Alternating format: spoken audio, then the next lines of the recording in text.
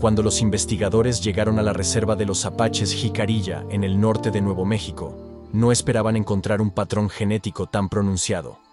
Sin embargo, el 99% de la comunidad compartía el tipo de sangre O, un fenómeno que reflejaba patrones similares en otras tribus indígenas americanas. La prevalencia del tipo de sangre, O entre los Jicarilla, sugería una adaptación genética que les había conferido ventajas en su entorno, lo que generaba especulaciones sobre posibles ventajas en la coagulación de la sangre y en la resistencia a enfermedades infecciosas.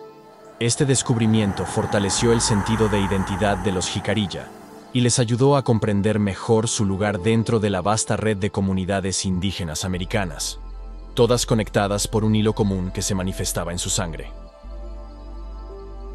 En las tierras altas de Oaxaca, los zapotecas, conocidos por su impresionante legado arquitectónico y artístico, también compartían la curiosa prevalencia de la sangre tipo O, que se había observado en otras comunidades indígenas de América.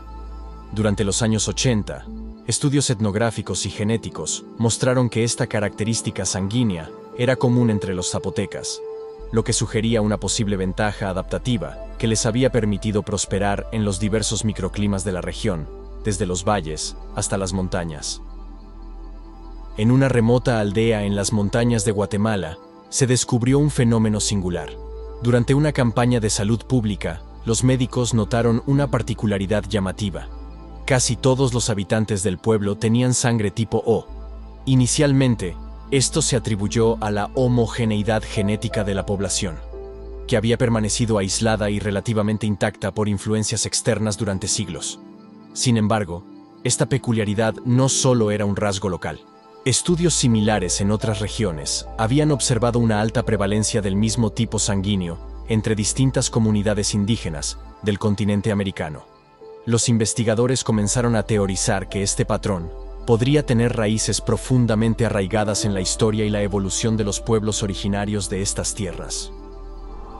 Así, en este entrelazado de historias y conocimientos, encontramos una conexión profunda entre nosotros y las generaciones pasadas. Las imágenes de los nativos americanos que adornan este texto son un recordatorio de que, más allá de la diversidad de nuestras culturas, compartimos una biología que nos une en una batalla común por la salud y la supervivencia.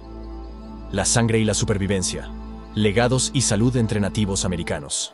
Mientras contemplamos las imágenes de nativos americanos, cuyas culturas han sobrevivido milenios en armonía y lucha con la tierra, encontramos un eco de nuestra propia lucha contra las enfermedades que no conocen fronteras ni etnias.